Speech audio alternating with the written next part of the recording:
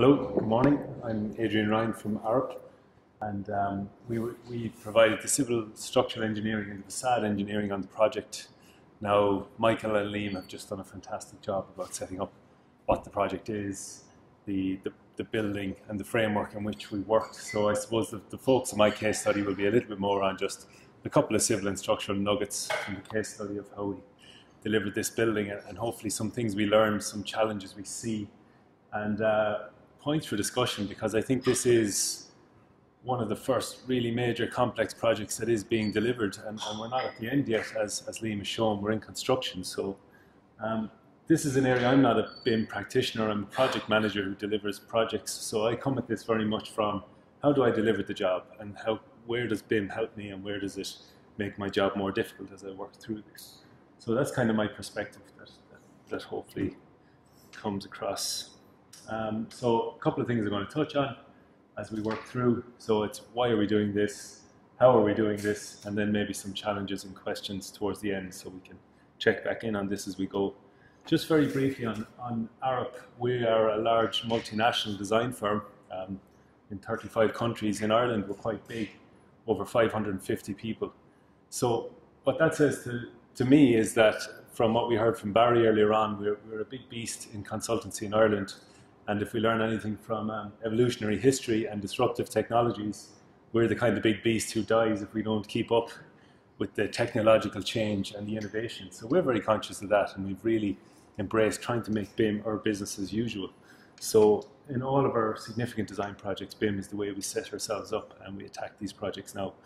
And um, you know that's the why for us. What's the why for Trinity and the client? And independently, I think Michael and I arrived at the same, the same graph.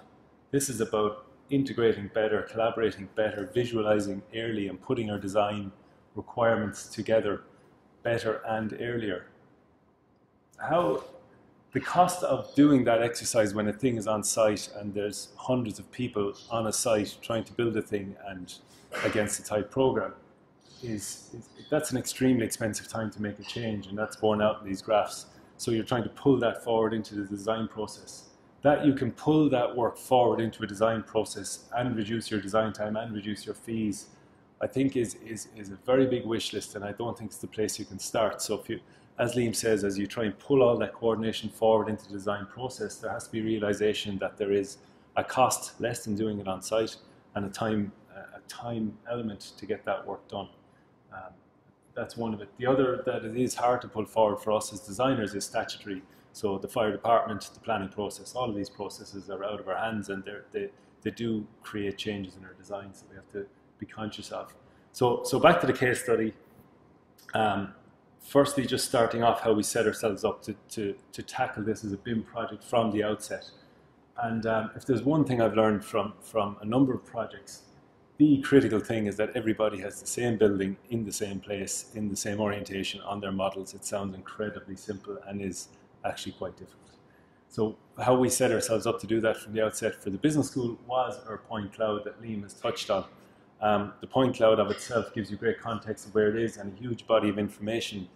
But if you don't use that information beyond that, you've missed an opportunity and you're not trying to release some of the benefit because it does cost more to get this point cloud for the client. It does take longer to take this huge body of information and resolve it into the Revit model you see in the bottom right hand corner, which actually takes thousands of points and tries to come up with surfaces and, and things that we can integrate into our models.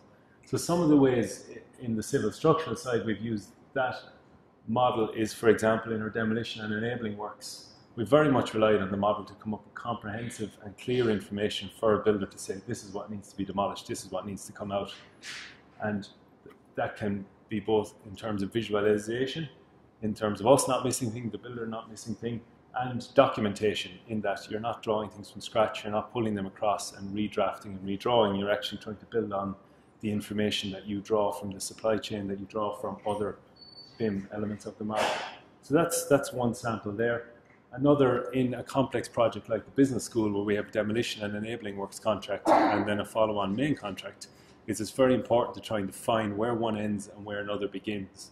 So for something as simple as where the earth profile will be at the end of the job, in Civil 3D we were able to model where we felt when the foundations were scrubbed up and the and the uh, services were taken out, what was the target end of site condition for one contract? And then by having that staged and integral in your model, you can both use it as an end to your first stage of works and a start to your next stage of work in a very fluid way and in a very clear way across your design information. So again, the detail here is, uh, is not to be seen, but it's more that it's always from the model, it's always from this single source that you're drawing the same information. And that's been one of the benefits for us. Um, one of the particular challenges here in the protected structures, six Georgian buildings, there is an implied accuracy about a model, whether you like it or not. If you model joists at centres and you model those bearing on steelwork, and you model them as timber grade C16 or C18, you're, you're implying an accuracy, you're implying you know what was going on there. Uh, none of us were born in Krypton, so we can't see through floors or walls or anything else. So a normal opening up works gives you a certain amount of knowledge. So for something like the protected structures, I think they've long been a challenge in the, in the government form of works contract, and there are investigation and works contracts more suited to that. When you try and integrate these buildings into something like the business school, we have gone back and used CAD, where we open up in certain areas, we learn something, we develop suites of typical details, such as the bottom right hand corner of what if the joist is rotten? What if it bears on steel? What if it's in good condition? So we can develop matrix of details. And instead of trying to model in all of these, we, we let a competent builder who, understands building and understands protected structures, we give them the information they need using 2D information in, in the case of these protected structures. Um, that can still sit in the BIM world and the BIM process once we locate it properly, once we name it properly, once we use the, the data environments such as ASITE in our case to share it properly. So just because a particular, as a designer's choice, a particular element of a project you decide is best tackled in a 2D format or a different pen and paper format, doesn't mean you can't still build that back into the BIM process so that it's not an outlier or, or, or off the edge. Um, so, so that's worked reasonably well, I think, on, on the business school project, and Celine can comment on that if I'm telling a lie. Um, so that's the first element. Moving on a little bit to the civil infrastructure. Again, there's a criminal amount of work in that little graphic. Hundreds of hours of design, integration, over and back with the architect, other designers, the MEP. Where can this manhole be? Where can that manhole be? There's just, it doesn't bear thinking about how much information is held in that um, and it can often be the challenge that if I was a client and I saw that, I would have thought that the intern knocked it together in two or three days. It's not the case, but the people in this room know it takes a lot longer. Um, it's naive to think that the person down on site, the, the, the average uh, earthworks contractor charged with putting in this infrastructure is going to work off that little model. They possibly can, and they're getting there, but more likely is they're going to work off a detailed set of construction drawings which still need to be derived and still need to be presented. This is important for our contract sets. It's important for the wet Friday afternoon person down the hole trying to decide what the invert level on the manhole is. Their iPad may not be working. They may not have access to uh, that information, which is changing, but it will change slowly and it will change faster in certain parts of the industry than others. Um, one of the real strengths, again, thinking about demolition and enabling and a main contract, was that when you work with contractors like BAM and JJ Rhatigans um, who are getting into that space where they deliver as-built BIM drawings means that we get as-built 3D data back from the contractor. This, in, in this case, it was a BAM as-built. They were at that stage, which allows us again to re-enter the Navis cycle to check our main works against the as-built civils and, and, find some clashes. And with with Rhatigans, very uh, interactive and fluid there to, to, to, spot any challenges from, from what had been built and handed over. So, so that's just showing in civil infrastructure that it, it's, it's not, there's no end in this. It, it starts at the very start of putting your design decisions down and documenting it, in getting as-built information back and in moving on to the next stages. And I'm sure this slide in, in a year or two's time will have the next set of as-builts and, and detailing with, with, with Rhatigans as our main contract works. Um, modeling the main building structure, I guess I'm mindful that it's again it's an experienced room. I don't want to get into we did this, that, and the other. I think people are aware that using a tool like Revit the main thing is to understand the level of model definition, like like Liam has spoken about, and to actually put the work into to, to build the key elements of your structure into the model and share that frequently and consistently with others so that they can coordinate it with their design. The end product is usually quite impressive, but uh, it takes a lot of work to get there. So just looking at some of the components, that, that that's the 18 meter transfer beams that, that take five stories across our main auditorium in the business school. There's one very key connection here where um, that steelwork meets a steel column, which then coordinates down into concrete. So we had to put a lot of thought into how all of that comes together and model it as such. There was value in modeling that for us.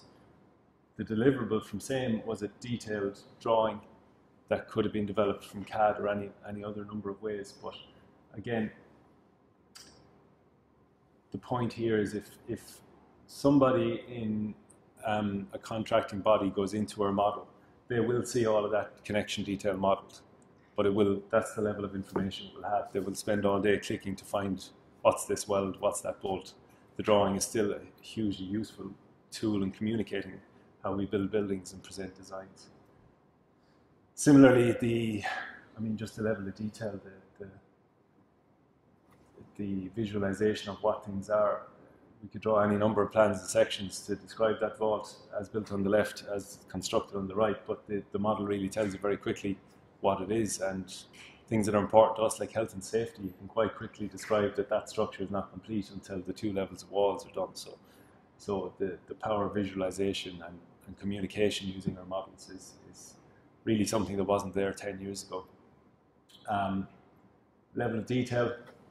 I remember going to a talk by Gary Anderson in Jordan. He, he talks about how he used to draw a wishbone suspension for the Jordan car in three hours and now it took three weeks. Uh, similarly here, we could have drawn a timber cross section for this raking lecture theatre in about half an hour.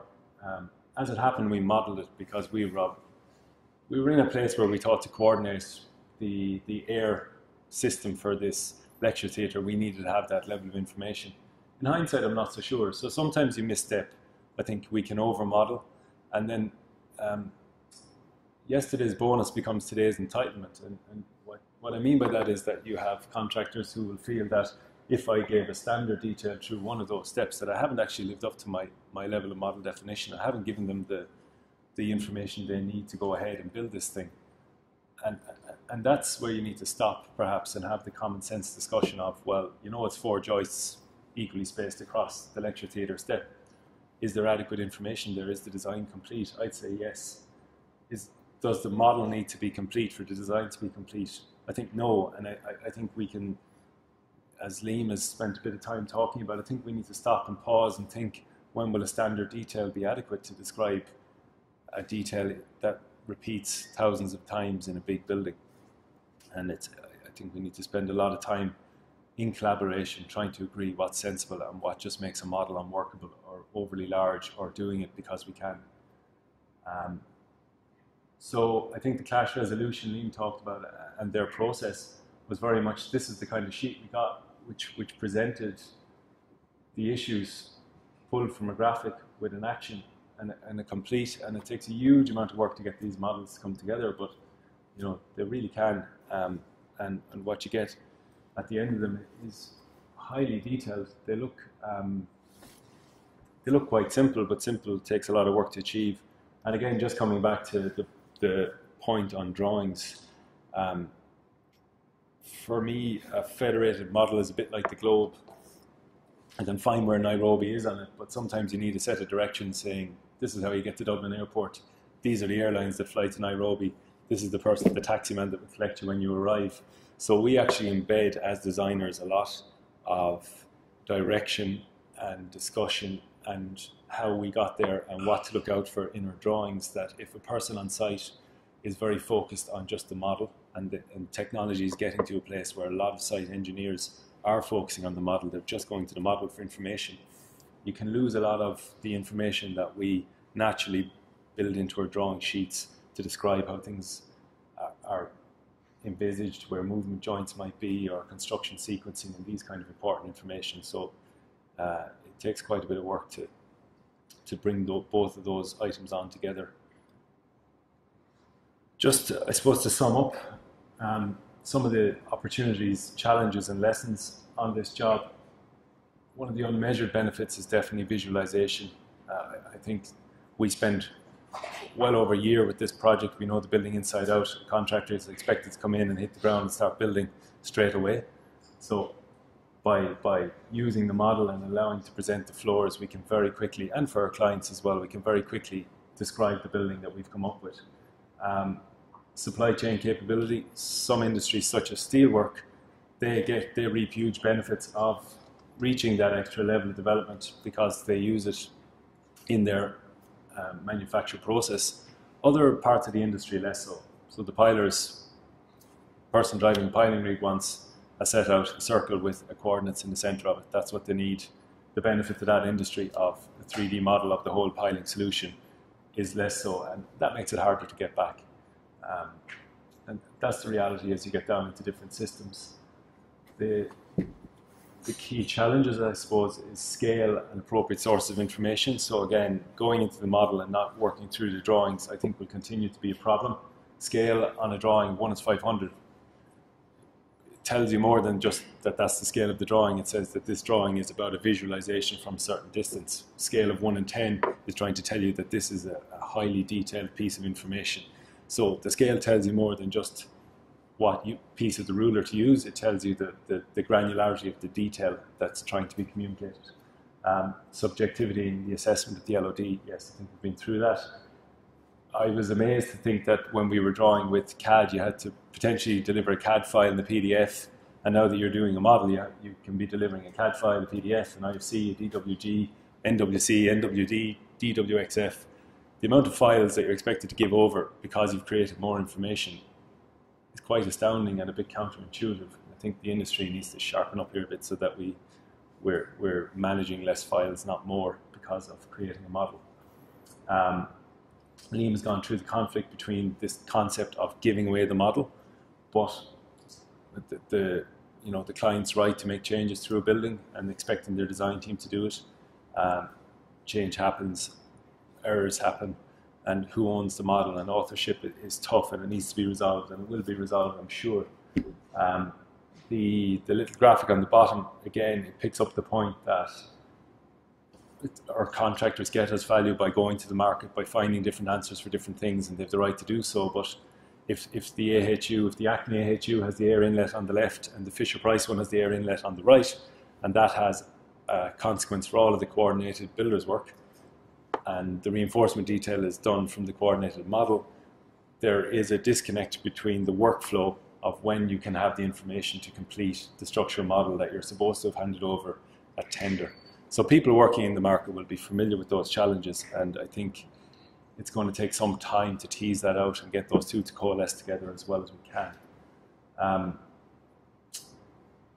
again, not to repeat the point, um, I suppose if you're building 100,000 cars, there's great merit in modeling it to the nth degree, every part of it, every detail, because you get the value of that and repeat, repeat, repeat, repeat, repeat.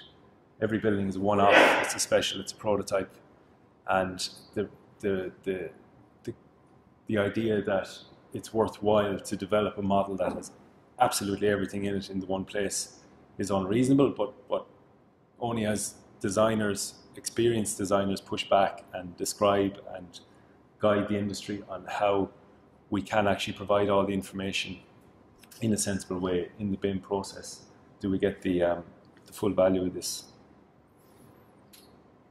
Uh, so to finish, I think BIM can be improved as designers and clients tighten up on the information that we actually want at the end.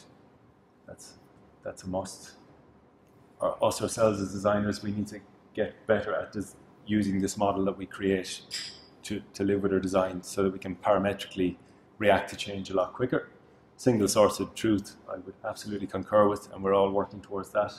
And, and the future is bright for this. I mean, um, contractors tracking progress, RFIs, health and safety, all, as all of this starts to live and be hosted in the model, I think we're we're just it's going to become business as usual and we're really going to reap great benefits from from entering this process.